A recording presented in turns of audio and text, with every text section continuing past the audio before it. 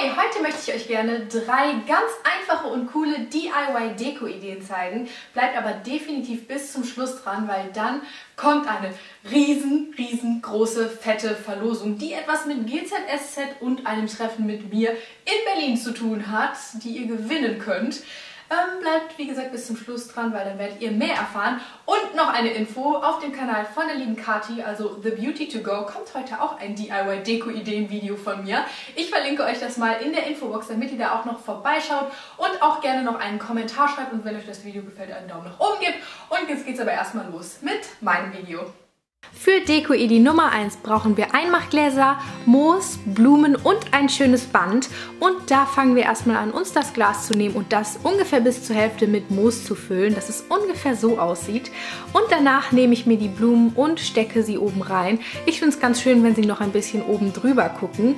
Und dann nehmen wir uns das schöne Band und wickeln das entweder oberhalb oder in der Mitte irgendwo drum und machen eine Schleife rein. Und dann sieht das ungefähr so aus. Ich habe auch schon versucht, das mal mit Glühbirnen zu machen machen, aber versucht das bloß nicht, weil die platzen einfach. Und deswegen habe ich es mal mit Einmachgläsern versucht. Gefällt mir auf jeden Fall sehr gut. Und für die nächste Deko-Idee brauchen wir eine Leihwand, eine Sprühfarbe, Äste und eine Zange. Und die nehmen wir jetzt erstmal dafür, um die Äste in gewünschte Stückchen zu bringen. Die sollen dann ungefähr so eine Herzform ergeben und das kleben wir dann einfach auf die Leinwand, wenn wir sie besprüht haben. Und das Ganze sieht dann so aus.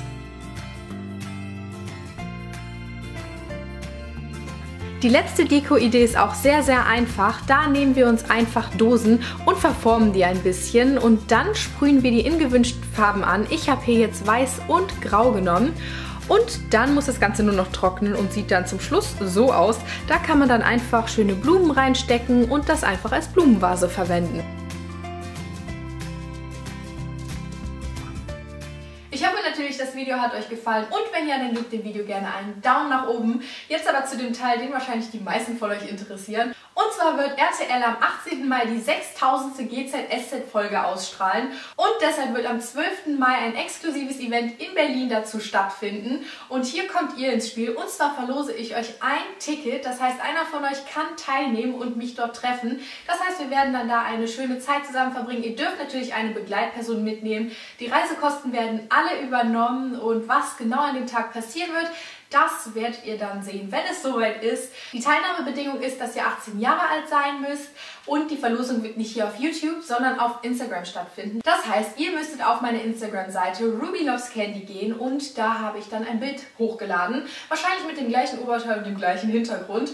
Und da könnt ihr dann drunter schreiben, warum ihr gewinnen solltet. Das ist mit das Wichtigste, denn der beste Kommentar wird gewinnen. Außerdem müsstet ihr dem Bild ein Like geben und natürlich ein Follower von mir sein. Genau, und wenn ihr all das berücksichtigen würdet und einen richtig tollen Kommentar schreibt, warum ihr denn gewinnen solltet, dann steht dem Ganzen eigentlich nichts mehr im Wege. Und ich freue mich natürlich, einen von euch an dem Tag zu treffen. Also, ich wünsche euch ganz, ganz, ganz viel Glück und bis zum nächsten Mal. Tschüss!